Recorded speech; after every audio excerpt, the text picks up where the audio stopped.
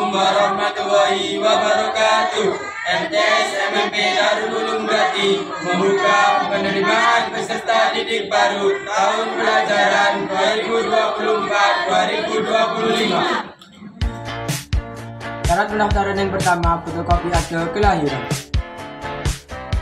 Yang kedua, surat keterangan nilai. Yang ketiga, surat keterangan lulus.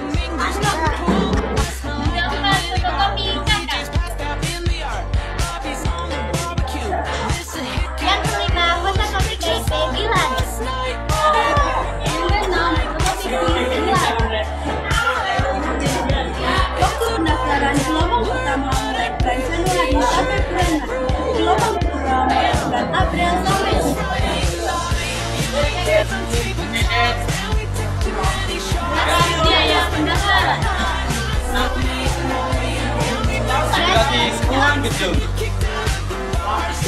Luas bagi 30 pendaftar gelombang pertama.